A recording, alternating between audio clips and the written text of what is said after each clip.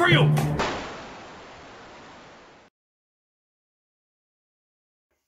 Welcome back, I'm Captain Xavier, and I am a shameless fan of getting free stuff. And the item I have today is one that I have been trying to get them to send to me for quite a while. Um, I asked for it from several different companies, but it never made it to the top of the list of the things that they really wanted reviewed. At one point, I finally ordered it myself, but uh, my contact with that company canceled my order because they saw it come in and said, "Well, we're just going to send you this stuff. Don't worry about ordering things." And then, unfortunately, they quit being quit working there before it finally got sent to me, and so it never did get to me. Finally, Banggood reached out to me again recently and actually had me set up uh, an affiliate program. So I I may get money if you order one of these. I have no idea, um, but I'm pretty sure that's how it works. I'm not worried about that. I just want to show off this thing because I've wanted one for so long. It is a rucksack. I've been, I have several different combat backpacks that I really like, but none of them were open on the top. And this one from the pictures looked like it was and I liked all the other designs about it. Yeah, it came with a came with a China patch, which is cool. I'll put that on the wall. Why not? Um, and this one is open on the top, and uh, it, it, it fit a number of features and functions that I really wanted for um, future auxiliary stuff. So uh, finally got him to get to get me one, and I will probably end up ordering at least two more for various reasons, and I, I encourage some of you to acquire one if you're going to be at one of the big events because there will be a huge use for these. Uh, it has shoulder straps that um, hook fairly high up, which distributes the weight a little bit better, and then it has a waist belt, which takes the weight off of some of the weight off of your shoulders. So that is, I really like that design. It also has a convenient wall hook. Not sure why. It doesn't have nearly as much MOLLE as I, for some reason, imagined it would. It's got the little bit right here, which is not quite right. It should have another row of stitching between all of these to make it proper MOLLE, but it would still work. It just might be a little bit looser than you'd like, unless you went just where the, the stitching is. It would not be difficult to add the the, the extra, the, the other stitch, but um, it you really don't I'm, I'm not terribly worried about the lack of MOLLE because of how many pouches this thing has built into it. It has this one on the back, which is the size of a school backpack, quite frankly. Uh, you then have a lower one down here, and then pouches on either side. And finally, there is actually a pouch on the top flap.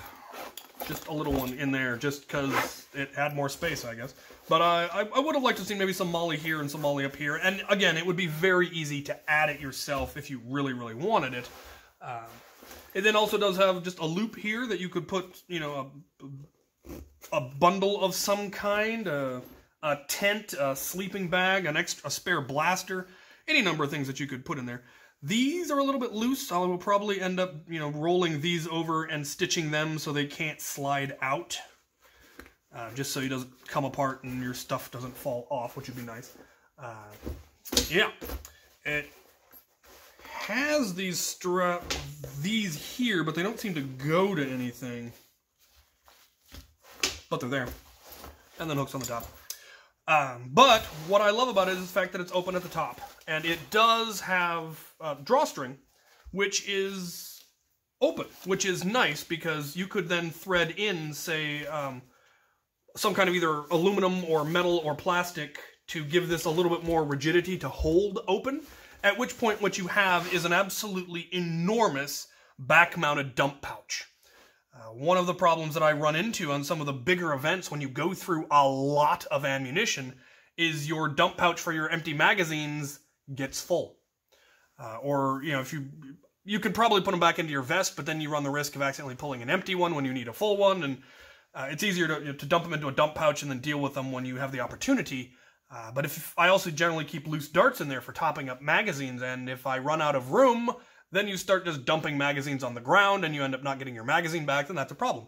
So something like this would be an enormous dump pouch, which would be more than any one person would likely need. Uh, the I, It would be fairly, fairly difficult to carry enough magazines uh, in pouches on yourself to fill this. I know of a couple people who have loadouts that almost certainly could, but most people don't. And I only run with you know six mags on my vest and one in my blaster, uh, plus whatever I've got in other blasters on me.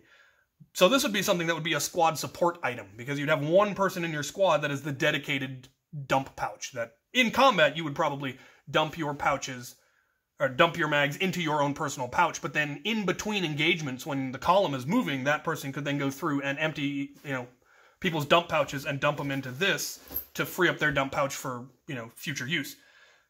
Um, the other thing that I would love to see is one of these, you know, in, uh, especially for the big last stand if kind of things, if those end up happening, like happened at Ragnar Oktoberfest last year, uh, and West versus Zombies this year, would be uh, one of these that's just full of full magazines.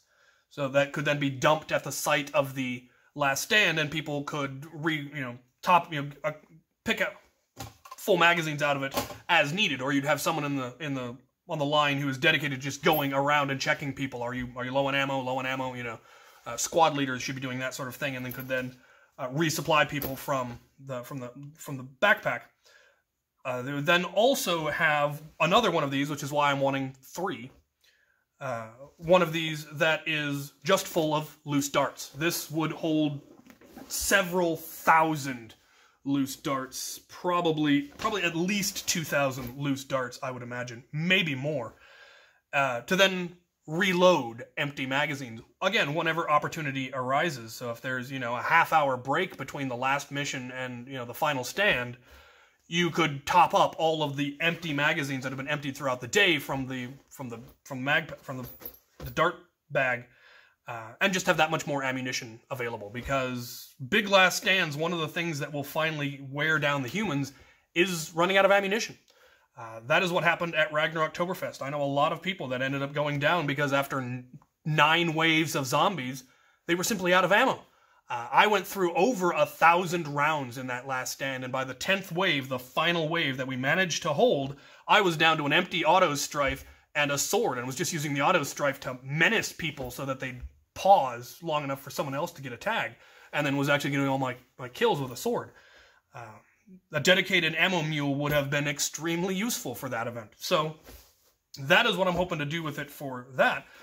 The other more ambitious plan, and I'm, I'm it's I've wanted to do it for a while, and it, this backpack turned out to be far more perfect for it than I was expecting, and that is uh, an, a magazine dispensing backpack. So the reason this is more perfect than I expected is because it's actually square. I was expecting it to be round, which wouldn't have worked for that nearly as well.